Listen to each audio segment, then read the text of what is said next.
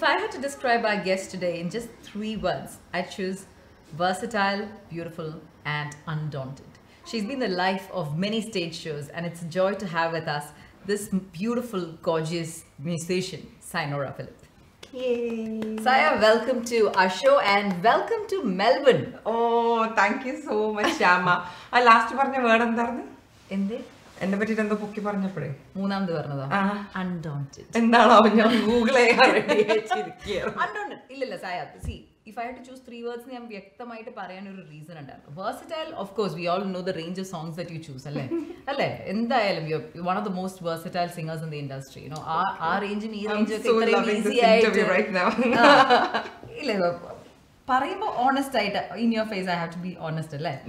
പിന്നത്തെ കാര്യം എന്താണ്? Beautiful I know you on a personal friend as well അപ്പൊ നമുക്ക് അറിയാം you know how beautiful you are as a person inside out അതുകൊണ്ട് of course I can't avoid that word undaunted പറയാനും ഒരു very അൺഡോണ്ടഡിന്റെ അർത്ഥം അറിയോ? ഗൂഗിൾ ഉണ്ടല്ലോ എല്ലാത്തിനും. അല്ല യൂസ് ചെയ്തതിന് ഒരു റീസൺ ഉണ്ട് because you always state strong for whatever cause or for whoever you feel close to അപ്പോൾ undaunted is just a small word to describe you to start off with correct ആണല്ലോ. Correct ആണ്. തീർച്ചയായിട്ടും correct ആണ്.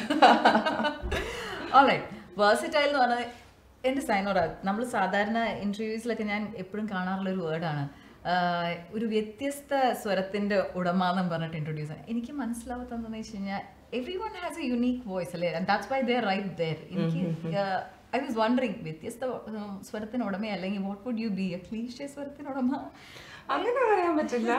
It's like ഒരുപാട് songs ഇറങ്ങുന്ന ഈ കാലഘട്ടത്തിൽ ഒരുപാട് ശബ്ദങ്ങൾക്ക് നടു നടുവിൽ എന്റെ ശബ്ദം ഡിസ്റ്റിങ്ക്ലി ഒരാൾക്ക് മനസ്സിലാവുക എന്നുള്ള എന്നുള്ളതാണ് ആക്ച്വലി വ്യത്യസ്തമായ ശബ്ദം എന്നോ അല്ലെങ്കിൽ സയനോറയുടെ ഐഡന്റിറ്റി വാട്ട് ഇസ് ഐഡന്റിറ്റി എന്നുള്ള ഒരു സംഭവമാണ് അതിന്റെ അകത്ത് വരുന്നത് but you think it's necessary for any artist അല്ലെങ്കിൽ playback singer to to have that like ഏതൊരു ആർട്ടിസ്റ്റിനും ഒരു ഐഡന്റിറ്റി ക്രിയേറ്റ് ചെയ്യാൻ like mainstream artist like you of course not necessary tones similar ആയിട്ടുള്ള ഒരുപാട് ആർട്ടിസ്റ്റുകളുണ്ട് even the sing style varies how ഒരു സോങ്ങിനെ എങ്ങനെ നോക്കിക്കാണുന്നു നോക്കി കാണുന്നു ആ ഒരു സോങ്ങിനെ എങ്ങനെ ഇന്റർപ്രറ്റ് ചെയ്യുന്നു എന്നുള്ളതും കൂടി അതിലുണ്ട്. ഒരു ഒരു സിംഗർ എന്നുള്ള നിലയിൽ ഹൗ ഷീ ഹാസ് അല്ലെങ്കിൽ he oh she has imbibed എന്താണോ മ്യൂസിക് ഇംബൈബ് ചെയ്ത് അവരുടെ സോളിൽ മിക്സ് ചെയ്തിട്ട് they give the expression and the soul to the song that is totally different ഓരോരുത്തരുടെയും ഇന്റർപ്രിട്ടേഷൻ ഡിഫറെന്റ് ആണ്. അങ്ങനെയാണ് എന്റെ ഒരു കുഞ്ഞു ബുദ്ധിയിൽ എനിക്ക് ഫീൽ ചെയ്ത കാര്യം. കൊള്ളാം. അങ്ങനെ ഒരു തോട്ട് എനിക്ക് കൂടെ it make sense for me കാര്യം ഞാൻ എപ്പോഴും ആലോചിക്കാറുള്ള ഒരു സംഭവമാണ് എന്തിനാണ് ഈ വ്യത്യസ്ത സ്വരം? എല്ലാവരിലും ഒരു വ്യത്യസ്തത ഉണ്ടല്ലോ അത് പക്ഷെ ജനറലി എല്ലാവരും പറഞ്ഞു പറഞ്ഞു വരുമ്പോ അങ്ങനെ തന്നെ. വ്യത്യസ്ത വ്യത്യസ്ത ശബ്ദത്തിനുടമ എന്ന് പറഞ്ഞിട്ട് എന്നെ എല്ലാ ഇന്റർവ്യൂസിലും എല്ലാ ഷോസിലും ഇൻട്രൊഡ്യൂസ് ചെയ്യുന്നത് അങ്ങനെയായിരിക്കും. ഞാൻ ഞാനതൊക്കെ കേട്ട് ശീലായി അല്ല മാത്രമല്ല I think your entry itself തുടങ്ങിയത് ഒരു ഇംഗ്ലീഷ് സോങ് പാടിക്കൊണ്ടാണ്. അപ്പോൾ മഞ്ഞ് പോലൊരു പെൺകുട്ടി. അതെ അൽഫോൻസ് ഏട്ടന്റെ പാട്ട്. കൂടുതലും യൂസ് ചെയ്തിട്ടുള്ള ആൾക്കാർ അതിനുശേഷം യു ഗോട്ട് ബ്രാൻഡഡ് അല്ലേ? എല്ലാ വെസ്റ്റേൺ മ്യൂസിക് അല്ലെങ്കിൽ ഇംഗ്ലീഷ് പാടണമെങ്കിൽ സയനോറെ അപ്രോച്ച് ചെയ്യണം. അല്ലേ. ഏറ്റവും വലിയ തമാശ എന്താ വെച്ചാ ഞാൻ പത്താം ക്ലാസ് വരെ ഞാൻ ആദ്യമായിട്ട് കേൾക്കുന്ന ഇംഗ്ലീഷ് സോങ് എന്ന് പറയുന്നത് ടൈറ്റാനിക് ടൈറ്റാനിക്കിൽ പാട്ടാണ്. നയന്റീൻ നയന്റി എയ്റ്റിൽ ടൈറ്റാനിക് ഇറങ്ങുമ്പോഴാണ് ആദ്യമായിട്ട് ഞാൻ കണ്ണൂരിൽ നിന്ന് വളർന്ന ഒരു കുട്ടി. എന്റെ ഡാഡി ഒരു വെസ്റ്റേൺ മ്യൂസിക് ടീച്ചറാണ് വെസ്റ്റേൺ ക്ലാസിക്കൽ കുറെ കേട്ടിട്ടുണ്ട്. I been trained in that പക്ഷെ പന്ത്രണ്ട് വർഷം പഠിച്ചത് ക്ലാസിക്കൽ കർണാട്ടിക് മ്യൂസിക് ആണ്. അത് ആദ്യമായിട്ട് പാടണ ഇംഗ്ലീഷ് പാട്ട് എന്ന് പറയുന്നത് every night in my dreams ആണ്. പക്ഷെ അതാരും വിശ്വസിക്കില്ല. ബിക്കോസ് അത് കഴിഞ്ഞ് കോളേജ് കഴിഞ്ഞ് നേരെ പിന്നെ അൽഫോൻസ് ഏട്ടന്റെ മ്യൂസിക്കിൽ ആം ഐ ഡ്രീമിങ് പാടിയിട്ട് പിന്നെ മലയാളം ഫിലിം ഇൻഡസ്ട്രിയിലോട്ട് കാൽ വെച്ചപ്പം പിന്നെ അതങ്ങ് അങ്ങനെ പോയി. ഓക്കെ വെസ്റ്റേൺ സിംഗറായി വന്നു അതെ അതെ അതെ അതെ. പക്ഷെ I don't bad about it it's nice you created an identity അല്ലേ അവിടെ തന്നെ? അതെ അതെ. അപ്പൊ അതുകൊണ്ട് ചില സമയം ആലോചിക്കുമ്പോൾ ചിലപ്പോൾ വിഷമാവും. പക്ഷെ എനിക്ക് കുറെ മെലഡീസ് ഒക്കെ പാടാം പക്ഷെ ഇപ്പം current I started singing so many melodies and people have started experimenting with my voice I think അതായിരുന്നു ഒരു നല്ല സംഭവം. Like you know positive thing was നിങ്ങൾ എല്ലാവരും നിങ്ങളൊക്കെ ആ ഇൻഡസ്ട്രിയിലേക്ക് വരുമ്പോഴത്തേക്കും there was a gush of lot of young talents അതെ. ഗായത്രി റീമി. അതെ എല്ലാവരും കൂടി ഒരു ഗഷായിരുന്നു but they you stood out അല്ലേ? എവരിബഡി സ്റ്റാൻഡ്സ് ഔട്ട് ആ ടൈമിനൊക്കെ എല്ലാവരും അവൻ അപ്പുറത്തേക്ക് എല്ലാവരും അങ്ങോട്ടും ഇങ്ങോട്ടും അവരവരുടെ പാട്ടുകൾ പാടുമായിരുന്നു അതെ അതെ അതെ. യു റിമെമ്പർ ആ ടൈമിലുള്ള ഷോസിലൊക്കെ എല്ലാവരും അതെ ഈ ഒരു ടീമായിരുന്നു എല്ലാപ്പോഴും ട്രാവൽ വിധു അഫ്സൽക്ക പിന്നെ ജോ ഗായത്രി ഒക്കെ. അങ്ങനത്തെ ഗെറ്റ് ടുഗദേഴ്സ് ഭയങ്കര കൂടുതലായിരുന്നു. പക്ഷെ ഇപ്പൊ ഇപ്പൊ എന്ന് വെച്ചാൽ എല്ലാവർക്കും എല്ലാവരും ഒരു ചെറിയ ചെറിയ സർക്കിളായി മാറി. ഒരാൾക്കൊരു ഷോ രണ്ടുപേർക്കൊരു ഷോ ഒരുമിച്ചിട്ടുള്ള ഗാദറിങ്സ് ഇപ്പൊ ചെയ്യാൻ പറ്റാണ്ടായല്ലോ ഒരു വിഷയമാണ്. സംഭവം അത്. പറഞ്ഞപ്പോഴാ മെൽബണിൽ ആദ്യമായിട്ടാണ് മെൽബണിൽ ആക്ച്വലി ആദ്യമായിട്ടല്ല മെൽബണിൽ ഞാൻ ടൂ തൗസൻഡ് സിക്സിലെ എ ആർ റഹ്മാൻ സാറ് കൂടെ മെൽബൺ ആൻഡ് സിഡ്നി വന്നിട്ടുണ്ട്.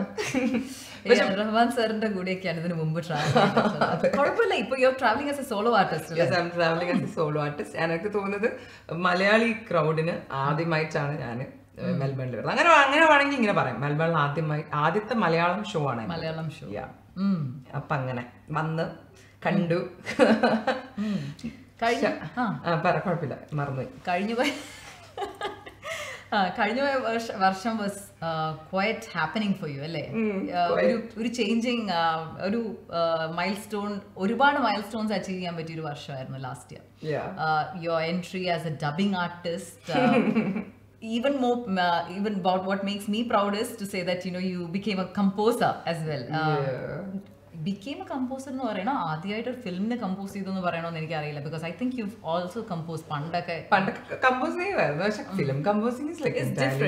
You get identified as a musical com- music composer. അല്ലേ? Music composer and കുട്ടമ്പിള്ളയുടെ Sivarathri was like entirely different പറയാൻ കാരണം അതിന്റെ പാട്ടുകൾ മാത്രമല്ല അതിന്റെ ബാക്ക്ഗ്രൗണ്ട് സ്കോറും ഞാൻ തന്നെയാണ് ചെയ്തത്. So it comes like the entire വലിയ റെസ്പോൺസിബിലിറ്റി ആണ് ഭയങ്കര വലിയ റെസ്പോൺസിബിലിറ്റിയാണ് അത് എന്തിനാണ് ജീൻ മാർക്കോസ് എന്റെ തലയിൽ വെച്ച് തന്നത് എനിക്ക് ഐഡിയ ഇല്ല.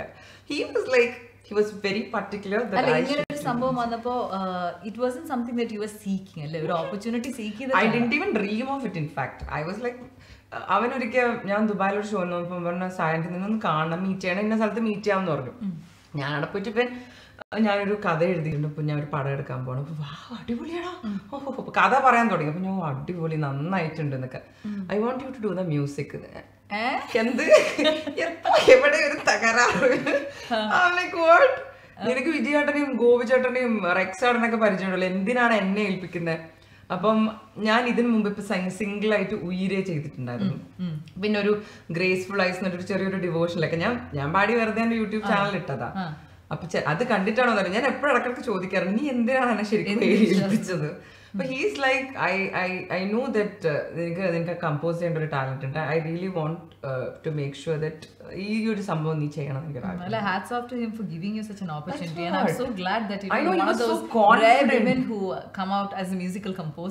hats off to G Marcos അവൻ തന്നെ ഇടക്കിടക്ക് ഇങ്ങനെ നമ്മൾ തമ്മിൽ വൻ അടിയൊക്കെയാണ്. മറ്റേ ബാക്ക്ഗ്രൗണ്ട് സ്കോറിന്റെ കാര്യമൊക്കെ വന്നപ്പോഴത്തേക്കും പിന്നെ ക്രിയേറ്റീവ് ആയിട്ടുള്ള ഒരുപാട് പിന്നെ വാഗ്വാദങ്ങളൊക്കെ ഉണ്ടായിട്ടുണ്ട്. അതാണ് ഞാൻ കേൾക്കാറുണ്ട്. ഇൻഡസ്ട്രിയിലെ ഏറ്റവും കൂടുതൽ ആൾക്കാർക്ക് വിഷമമുള്ള കാര്യം especially as musicians is that അവരുടെ വർക്കിൽ മ്യൂസിക് ഡയറക്ടേഴ്സ് ഫിലിം ഡയറക്ടേഴ്സ് ഒരുപാട് തലയിടും തോന്നുന്നു അതൊക്കെ ഇടും. ഒന്നും അവോയ്ഡ് ചെയ്യാനുള്ളൊരു എന്റെ ആ ക്ലൈമാക്സ് ഏഴ് തവളയാണ് എന്നെ കൊണ്ട് മാറ്റിച്ചത്. അപ്പൊ no but it is good എല്ലാം ആ, it's about working in sync അല്ലേ? ആ അതാണ്. പിന്നെ മാത്രമല്ല ഒരു ഡയറക്ടറിനാണ് അതിന്റെ ഹോൾ പെർസെപ്ഷൻ ഉള്ളത്. ഒരു ഫിലിം എങ്ങനെയായിരിക്കണം എന്നുള്ളത്. അപ്പം അത് ആക്ച്വലി റൈറ്റ് ട്രാക്കിലേക്ക് ഗൈഡ് ചെയ്യുന്നതിന്റെ ഭാഗമാണ് so for me it was a beautiful and incredible experience doing കുട്ടമ്പിള്ളയുടെ Shivaratri because പാട്ടുകൾ ഉണ്ടാക്കുന്നത് ഓക്കെ ഞാൻ കമ്പോസ് ചെയ്യും. ദാറ്റ്സ് ഓക്കെ പക്ഷെ ഓരോ ഓരോ സോങ്ങിന്റെ സീൻ അനുസരിച്ചിട്ട് നമ്മൾ ആ ഫീലിങ്സും ഈവൻ അതിന്റെ പിന്നെ എന്താ പറയാ ജിയോഗ്രഫിക്കൽ ഫീച്ചേഴ്സും ഒക്കെ ഇൻക്ലൂഡ് ചെയ്ത് അതിന് ഏതൊക്കെ ഇൻസ്ട്രുമെന്റ് അതാണല്ലോ അതിന്റെ ഹോൾ ബ്യൂട്ടി അതിന് ഏതൊക്കെ ചക്കപ്പാട്ട് അതെ. ഇറ്റ് വാസ് ലൈക്ക് ഭയങ്കര ബ്ലെസ്സിങ് ആയിരുന്നു. ചക്കപ്പാട്ട് ശ്രദ്ധിക്കപ്പെട്ടു. ഒരുപാട് റിസർച്ച് ചെയ്തു. കുറച്ച് കഷ്ടപ്പെട്ടിട്ടുണ്ട്. ഞാൻ നന്നായിട്ട് ഞാൻ കുറെ മൂവീസ് ഇരുന്ന് കണ്ട് ജോൺസൺ മാഷൊക്കെ എങ്ങനെയാണ് ബാക്ക്ഗ്രൗണ്ട് സ്കോർ ഏതൊക്കെ മൂഡിന് എവിടെയൊക്കെ സൈലൻസ് വരണം. ഇമ്പോർട്ടന്റ് നമ്മൾ ഒരുപാട് നമ്മൾ കുത്തി നടക്കാൻ പാടില്ല. ചില മൂമെന്റ്സ് അവിടെ ബ്ലാങ്ക് ആയിരിക്കണം. അപ്പൊ അതൊക്കെ കുറച്ച് നന്നായി കഷ്ടപ്പെട്ടു എന്റെ കൂടെ ഇതിന്റെ ബാക്ക്ഗ്രൗണ്ട് സ്കോർ ചെയ്തത് വർക്കി എന്ന് പറഞ്ഞ പ്രോഗ്രാമർ ആണ്. ഇസ് എ ബ്രില്യന്റ് മ്യൂസിഷ്യൻ അപ്പം for me he was there so എനിക്ക് നല്ലൊരു ഒരു ഹെൽപ്ഫുൾ ഹാൻഡ് ആയിരുന്നു അവൻ അപ്പൊ അങ്ങനെ നമ്മൾ രണ്ടുപേരും കൂടിയിട്ടാണ് എന്റെ ബാക്ക്ഗ്രൗണ്ട് സ്കോർ ചെയ്തത്. പിന്നെ പാട്ടുകൾ അതിന്റെ അകത്ത് ജോബ് പാടിയിട്ടുണ്ട് പ്രാർത്ഥന ഇന്ദ്രജിത്ത് പാടിയിട്ടുണ്ട് സുരാജേട്ടൻ പാടിയിട്ടുണ്ട്. അതെ അതെ. സുരാജ് സുരാജേട്ടന്റെ ആയിരുന്നു ചക്കപ്പാട്ടല്ല ചക്കപ്പാട്ടല്ല. ശിവനെയാണ് ശിവനെ. ഓ ശരിയാണ്. ശിവനെ സുരാജേട്ടനായിരുന്നു. പിന്നെ സന്നിധാനന്ദനും നിമ്മിയായിരുന്നു ചക്കപ്പാട്ട്. ചക്കപ്പാട്ട്. അൻവർ അലി ചേട്ടനാണ് ഇതിന്റെ ലിറിക്സ് എഴുതിയിരിക്കുന്നത് അതിന്റെ അകത്ത് ഒരു പാട്ട് ഞാൻ എഴുതിയിട്ടുണ്ട്. ശിവനെയല്ലേ. ഈ പാട്ട്. എന്തായിരുന്നു ശിവനെ എഴുതാനുള്ള ഒരു ഇൻസ്പിറേഷൻ എടോ അങ്ങനെയൊന്നും ഇല്ലടോ അങ്ങോട്ട് അല്ലല്ല സി ഇയാൾക്ക് കഥ അറിയാം. അതിനകത്തുനിന്ന് നമ്മൾ ചൂസ് ചെയ്യേണ്ടിരുന്നു അപ്പൊ സായ ആദ്യം ശിവനെ എന്നുള്ളൊരു ഇത് അതായത് ഈ ഒരു സിറ്റുവേഷനിൽ ഒരു പാട്ട് എന്ന് ഇപ്പൊ ചിലവർ പറയും എനിക്ക് പാട്ട് കിട്ടിയിട്ട് ഞാൻ അതിനനുസരിച്ച് അതായത് ഒരു ഒരു റിതം കിട്ടിയിട്ട് അല്ലെങ്കിൽ ഒരു ട്യൂൺ കിട്ടിയിട്ട് ഞാൻ അതിന് വേണ്ടി ലിറിക്സ് നോക്കും എന്ന് പറയും. അതോ ലിറിക്സ് കിട്ടിയിട്ട് ട്യൂൺ നോക്കുമായിരുന്നു എന്താ ഉദ്ദേശിച്ചത്? കമ്പോസ് ചെയ്യുമ്പോൾ യൂഷ്വലി ഞാൻ അത് ഒരുമിച്ചിട്ടാണ് ചെയ്യുന്നത് അത് ആക്ച്വലി ഗോപിച്ചേട്ടനൊക്കെ അടുത്ത് പറഞ്ഞാൽ അങ്ങനെ എഴുതരുത് സായ. കാരണം അത് ലിമിറ്റഡ് ആയി പോകും.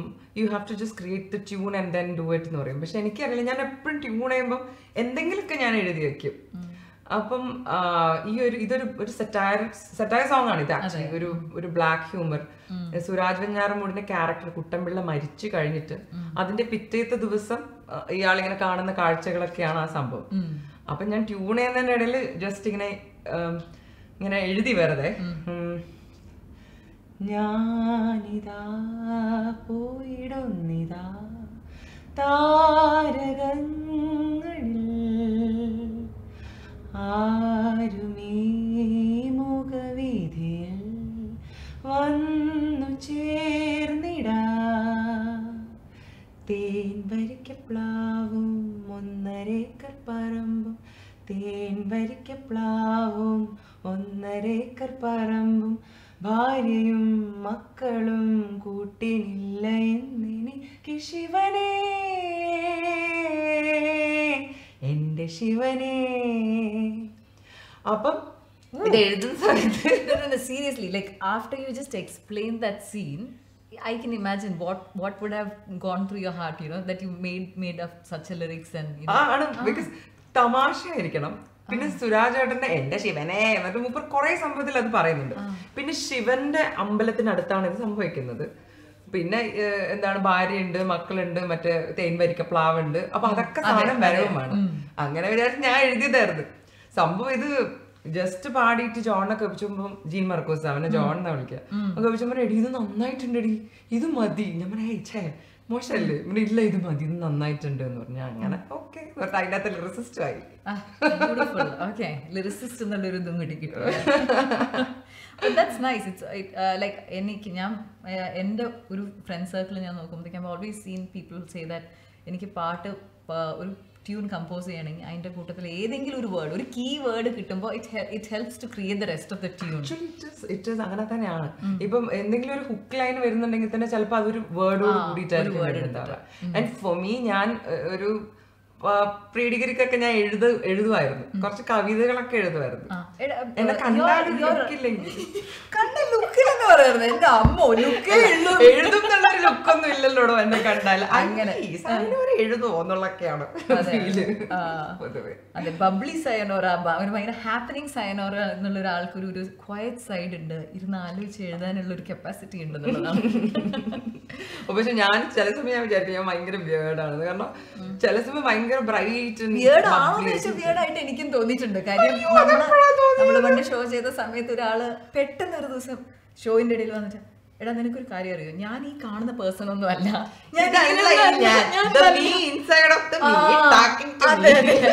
അതെ, ഞാനിങ്ങനെ ഷോയിൽ ബാക്ക് സ്റ്റേജിൽ ഇതിപ്പോ എന്തിനാണെന്ന്? അപ്പൊ എനിക്ക് മനസ്സിലായി. ചെറിയൊരു എലിമെന്റ് ഓഫ് വിയർഡ്നെസ് ഉണ്ട്. But I think that's what make artist അല്ലേ? Every artist they are like eccentric ആയിരിക്കും അവർ എന്തെങ്കിലുമൊക്കെ കാര്യങ്ങൾക്ക് പ്രശ്നം. ആരാണ് എക്സെൻട്രിക് അല്ലാത്ത എന്നാണ് നമുക്കറിയാം. ശരിയാണ്. പക്ഷെ എക്സെൻട്രിക് അല്ലാത്ത ആൾക്കാരും ഉണ്ടെന്ന് എനിക്ക് തോന്നുന്നു. ഇല്ലല്ലോ എനിക്കറിയില്ല അങ്ങനെ അങ്ങനെ വിശ്വസിക്കുന്നവർ വിശ്വസിക്കുന്നു ഗുഡ് ഫോർ ദം പക്ഷെ നോർമൽസ് തന്നെ ആക്ച്വലി എക്സെൻട്രിക് ആണെന്ന് ഞാൻ ബിലീവ് ചെയ്യുന്നത്. എപ്പോഴും നോർമൽ ആയിട്ട് ജീവിക്കുന്ന ആൾക്കാർക്ക്. നോർമൽ നമ്മൾ തീരുമാനിക്കുന്നതല്ലല്ലോ അതാണ് പ്രശ്നം. അല്ല ചിലര് ഭയങ്കര നോർമൽ ആയിട്ട്. ഇറ്റ്സ് ലൈക്ക് റുട്ടീൻ ഫിലിം ആ സമയം ഞാൻ വിചാരിക്കും അത് സൂപ്പർ എക്സെൻട്രിക് അല്ലേ? എങ്ങനെ റൂട്ടീൻ ഇത്ര ഫോളോ ചെയ്യാൻ പറ്റുന്നു? സത്യം. എന്തിനാണ് ഫോളോ ചെയ്യുന്നതെന്നുള്ളതാണ് ചോദ്യം. നമ്മൾ വൺ ഫിലോസഫിക്കൽ ലെവലിലേക്കൊക്കെ പോയാൽ നമ്മൾ ഈ ഷോന്റെ പേരൊക്കെ മാറ്റി നമ്മൾ ഭയങ്കര ഭയങ്കര ഡെപ്തിലേക്ക് പോകേണ്ടി വരും. ഇരുപത് മിനിറ്റ് ഉള്ളൂ അല്ലേ സംസാരിക്കാൻ വേണ്ടി അല്ല പക്ഷെ ഇതിന്റെ ഇടയിൽ വേറെ സംഭവം ഉണ്ട് ഓക്കെ ഈ നോർമലും എക്സെൻട്രിക്കും ഇതൊക്കെ കൂടാണ്ട് like what I said undaunted ഇയാൾ എപ്പോഴും ഇയാളുടെ വാല്യൂസിന് വേണ്ടി നിന്നിട്ടുണ്ട്. സായ എപ്പോഴും ഫ്രണ്ട്സിനാണെങ്കിലും ഒരു കോസിനാണെങ്കിലും you always stood strong okay not thinking about consequences not thinking about the dangers of the situation you just gone ahead and stood like a rock for whoever you you know wanted to അത് personal life ഫ്രണ്ട്സിന്റെ സിറ്റുവേഷനിലാണെങ്കിലും അതെ. അത് കൂടാതെ കൈകോർത്ത് Kannur. Flood റിലീഫിന്റെ സമയത്ത് സഹായ ചെയ്ത ഇനിഷ്യേറ്റീവ് ആണെങ്കിലും അതെ അല്ലെ? അതിനൊക്കെയുള്ള ഒരു ധൈര്യം എവിടെ നിന്നും സി അതിനൊരു ധൈര്യം വേണ്ടല്ലോ. അതിനൊക്കെ അതിനൊരു ഹാർട്ട് വേണം. അതിന് അതിന് ധൈര്യവും വേണം? എനിക്ക് എന്താ പറയുക എനിക്ക് എനിക്ക് ധൈര്യത്തിനെക്കാട്ടിയും കൂടുതലേ നമ്മളുടെ നമ്മളുടെ ഒരു we are basically human beings നമ്മളെല്ലാവരും ഇമോഷൻസും എല്ലാവർക്കും ആം, എനിക്ക് ഞാൻ ബേസിക്കലി ഞാൻ വിശ്വസിക്കുന്ന more than a musician more than a singer more than a whatever I am I should be a human being basically അപ്പം നടിയെ ആക്രമിച്ച പറഞ്ഞിട്ടില്ലേ നിങ്ങൾ ഫ്രണ്ടിന്റെ കൂടെ സ്റ്റാൻഡ് ബൈ ചെയ്തു. ഭയങ്കര ഭയങ്കര ഭയങ്കര ഭയങ്കര വലിയ കാര്യമാണ് സാധനം ചെയ്തത് എന്ന് പറഞ്ഞിട്ട്. എനിക്കത് സി അങ്ങനെ അല്ലാണ്ട് everyone will stand with a friend സത്യമാണ് everyone will stand with your friends But yeah, y- you know, when we talk about a you know male-dominated industry, and when you had to take that stand, you did it. I, I will do it again. And ആ സമയം I mean, I didn't think about uh, whatever consequences I'll face എന്നോ അല്ലെങ്കിൽ ഇനിയിപ്പോൾ എനിക്ക് പാട്ട് കിട്ടൂല എന്നോ അല്ലെങ്കിൽ ഇനിയിപ്പോൾ ഇൻഡസ്ട്രി ഞാൻ വാഷ് ഔട്ട് ആയി പോകുന്നൊന്നും അല്ല വിചാരിച്ചത് she is alone and she was alone and I felt so bad about it I felt so bad about the whole industry കുറച്ച് കാലത്തേക്ക് I really wanted to just എനിക്ക് എങ്ങനെയെങ്കിലും എവിടെയെങ്കിലും ഡിസപ്പിയർ ചെയ്ത് മതി എന്നുണ്ടായിരുന്നു. അത്രമാത്രം അവളെ ഒരാൾ പോലും സപ്പോർട്ട് ചെയ്തിട്ടില്ല. അവന്റെ ഭയങ്കര വിഷമായി. That really hurt me I did. I actually wanted to start a business and I just want to run wanted to run out of the industry പക്ഷെ പിന്നെ പിന്നെ ഞാൻ വിചാരിച്ച എന്തിനാണ്? നമ്മൾ ഫൈറ്റ് ചെയ്യേണ്ട ആവശ്യമില്ല. This is a life this is a very beautiful life അപ്പൊ അതുകൊണ്ട് ഞാൻ ഒരിക്കലും ഞാൻ എന്താണ് ചെയ്യുന്നത്? ഞാൻ റിഗ്രറ്റ് ചെയ്യുന്നില്ല. I will do it I will stand for her definitely ഞാൻ മരിക്കേണ്ടി വന്നാലും എനിക്ക് ഒരു പ്രശ്നമില്ല എനിക്ക് തോന്നുന്നത് ബേസിക്കലി ഞാൻ അങ്ങനെയാണ്. I am not trying to be something else trying to സംഭവം അങ്ങനെയൊന്നും ഇല്ല. you like uh, ഈ ബബ്ലി പേഴ്സണാലിറ്റിക്ക് ഉള്ളിലും you you have a reserved list of your friends അല്ലേ? And you always been there not in being friends ഡോ നമുക്ക് humanitarian കോൺസെപ്റ്റിൽ വെച്ച് നോക്കുമ്പോൾ അങ്ങനത്തെ ആൾക്കാരെ കൂടെ സ്റ്റാൻഡ് ബൈ ചെയ്യണം. ഇല്ലെങ്കിൽ പിന്നെ നമുക്ക് കരിയർ ഉണ്ടാവില്ല എന്നൊക്കെ ഒരു പേടിച്ച് നിന്നിട്ടൊന്നും ഒരു കാര്യമില്ല. അങ്ങനത്തെ കരിയർ എനിക്ക് വേണ്ട. അത്രയേ ഉള്ളൂ സിമ്പിൾ ഞാൻ അത്യാവശ്യം ഷോസ് ഒക്കെ ഉണ്ടെങ്കിൽ ഞാൻ അങ്ങ് ജീവിച്ചു പോയിക്കോളും. അല്ലാണ്ട് കുറെ പേര് കുറെ അവാർഡ് ഒന്നും എനിക്ക് അങ്ങനെ പറയുമ്പോഴാണ് അത്യാവശ്യം ഷോ ഉണ്ടെങ്കിൽ ജീവിച്ചു പോയിക്കോളും. അതൊരു വളരെ ഒരു വെയിറ്റ് ഉള്ള ഒരു സ്റ്റേറ്റ്മെന്റ് ആണ്. ലൈക്ക് ഈ ഒരു ഇൻഡസ്ട്രിയിൽ കയറുന്ന ഒരാൾക്ക് ഒരിക്കലും പ്രൊഡിക്റ്റ് ചെയ്യാൻ പറ്റില്ല. അയാളുടെ കരിയർ പാത്ത് എങ്ങനെ പോകുന്നു ഭയങ്കര ഒരു ചിലപ്പോൾ ഒരു വലിയൊരു പോക്ക പൊക്കത്തിലേക്കായിരിക്കും ചിലപ്പോൾ ഒരു വലിയൊരു പഞ്ചായിരിക്കും ഓക്കെ ആൻഡ് ഇത് രണ്ടും നേരിടാൻ ഒരു മനക്കരുത്ത് വേണം okay so you have been in this industry for the past one whole decade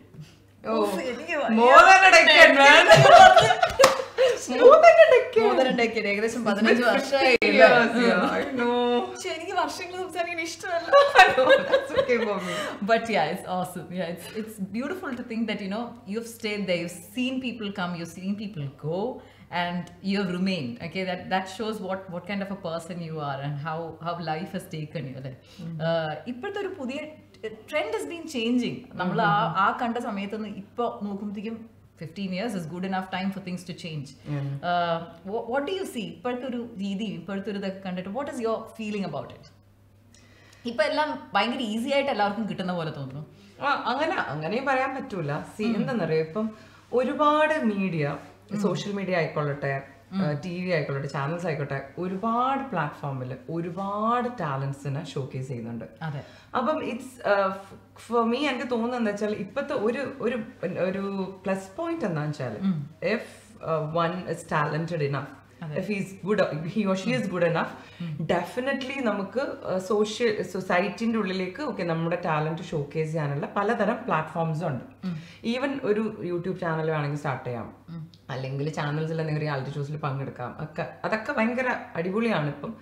always feel that അടിപൊളിയാണെന്ന്? കാര്യം like there has been points when I have felt that undeserving ആയിട്ടുള്ള ആൾക്കാരും കണ്ടസ്റ്റൻസിനും ഒരുപാട് പുഷ് കിട്ടി ഒരുപാട് പുഷ് കിട്ടി. ഇവരൊക്കെ ഇവർ ഇവർ എവിടെ നിൽക്കുന്നു എന്നുള്ളതല്ല ഒരു മാസ് അപ്പീൽ അതായത് പബ്ലിക് മീഡിയയിൽ കൂടെ കിട്ടുന്ന ഒരു അറ്റൻഷൻ.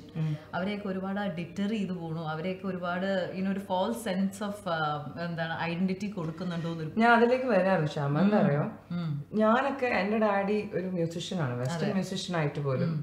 ഡാഡി എന്നെ പന്ത്രണ്ട് വർഷത്തോളം കർണാട്ടിക് മ്യൂസിക് ആണ് ട്രെയിൻ ചെയ്യിപ്പിച്ചത്. അതിന്റെ ഇടയിൽ ഗിറ്റാർ വയലിൻ സിത്താർ പിന്നെ തബല ഡ്രംസ് ഇങ്ങനത്തെ സംഭവങ്ങളൊക്കെ he was like he what a musician എന്ന് പറയുന്നത് എന്ന് പറയുന്നത് ഒരിക്കലും പെട്ടെന്ന് ഒരു ദിവസം പാടി ഹിറ്റായി വൈറലായി പിന്നെ അടുത്ത ഇതിൽ ഒരു ഒന്നര ലക്ഷം ഫോളോവേഴ്സ് വന്ന്.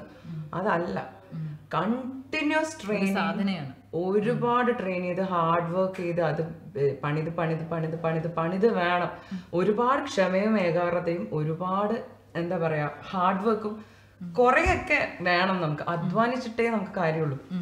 പെട്ടെന്നുള്ള ഫെയിമിൽ അതിൽ അതാണ് മ്യൂസിക് അത് ഒരുപാട് നാൾ നിൽക്കില്ല നീണ്ടു നിൽക്കില്ല. നീണ്ടു നിൽക്കുന്നതിൽ മാത്രമല്ല അതാണ് മ്യൂസിക് എന്നുള്ളത് മ്യൂസിക് ശരിക്കും പിന്നെ അതിൽ അതിന് ഇത് ചെയ്യണം ഉപാസിക്കണം എന്നുള്ള ആൾക്കാരെ തീർച്ചയായിട്ടും അതിന്റെ ഒരു ബേസിക് ആയിട്ടുള്ള ഒരു സാധനം ക്രിയേറ്റ് ചെയ്തെടുത്തേ മതിയാവും. ഇപ്പത്തെ കുട്ടികൾക്ക് അത് ആക്ച്വലി ആ ഒരു അവയർനെസ് വന്നിട്ടില്ല എന്ന് എനിക്ക് തോന്നുന്നുണ്ട്. ഇപ്പൊ ഇപ്പത്തെ ആൾക്കാർക്ക് ഇപ്പൊ ഏത് പാട്ട് ഇറങ്ങുമ്പോഴും ഒരു വൺ വീക്ക് കൊണ്ട് ഒരു മില്യൺ ഹിറ്റ് അല്ലെങ്കിൽ ടു ഡേയ്സ് കൊണ്ട് ഒരു മില്യൺ ഹിറ്റ് ചെയ്യാന്നുള്ളൊരു സംഭവം. അതിപ്പം പൈസ കൊടുത്തിട്ടാണെങ്കിൽ ചെയ്യാൻ പറ്റും. പറ്റും. പ്രൊമോട്ട് ചെയ്യാൻ പറ്റും. അതിലല്ല കാര്യം എന്നുള്ള സത്യം മനസ്സിലാക്കിയിട്ട് ശരിക്കും സ്റ്റഫുള്ള ശരിക്കും മ്യൂസിക്കലി ഡെപ്ത് ഉള്ള ഒരു കാര്യം കൊണ്ടുവന്നാൽ അത് നിലനിൽക്കും. സിമ്പിൾ ആയിട്ടുള്ള ഒരു ഒരു ഫാക്റ്റ് ആണത്. അപ്പം അതിലാണ് ഞാൻ വിശ്വസിക്കുന്നത്. അപ്പൊ അതുകൊണ്ട് തന്നെ ഇപ്പത്തെ ഈ ക്യാപ്സ്യൂൾ രൂപത്തിലുള്ള പെട്ടെന്നുള്ള വൈറൽ സാധനങ്ങളും അതിലൊന്നും ഞാൻ ആക്ച്വലി വിശ്വസിക്കുന്നില്ല. ഞാൻ എനിക്ക് തോന്നുന്നു ഞാൻ പൈസ കൊടുത്തിട്ട് ഒരു പ്രൊമോഷൻ പോലും ഇതുവരെ ചെയ്തിട്ടില്ല. ഫേസ്ബുക്ക് ഇൻസ്റ്റാഗ്രാമിനെ വളരെ റീസെന്റ് ഞാൻ സ്റ്റാർട്ട് ചെയ്തതാ. എന്റെ മാർക്കറ്റിംഗ് വളരെ വളരെ മോശമായതുകൊണ്ട്. കുഴപ്പമില്ല. മാർക്കറ്റിംഗിലല്ലോ കഴിവിലല്ലേ കാര്യം. അല്ല മാർക്കറ്റിംഗിൽ ഇപ്പം കാര്യമുണ്ട്. ഇൻഫാക്ട് മാർക്കറ്റിംഗിലും കാര്യമുണ്ട്. പക്ഷെ അത് തോളോട് തോൾ ചേർന്ന് പോണം. അല്ലാണ്ട് നമ്മൾ നമ്മൾ അതിനുവേണ്ടി ടൈമും പിന്നെ അധ്വാനവും ഇൻവെസ്റ്റ് ചെയ്യാണ്ട് വെറും മാർക്കറ്റിംഗിലേക്ക് പോകുന്നത് അത് ആക്ച്വലി ഞാൻ പേഴ്സണലി അതിന് അഗൻസ്റ്റ് ആണ്. എന്റെ എത്തിക്സിന് അഗൻസ്റ്റ് ആണ് അത് ആക്ച്വലി. അങ്ങനെയാണ് എനിക്ക് തോന്നുന്നത്.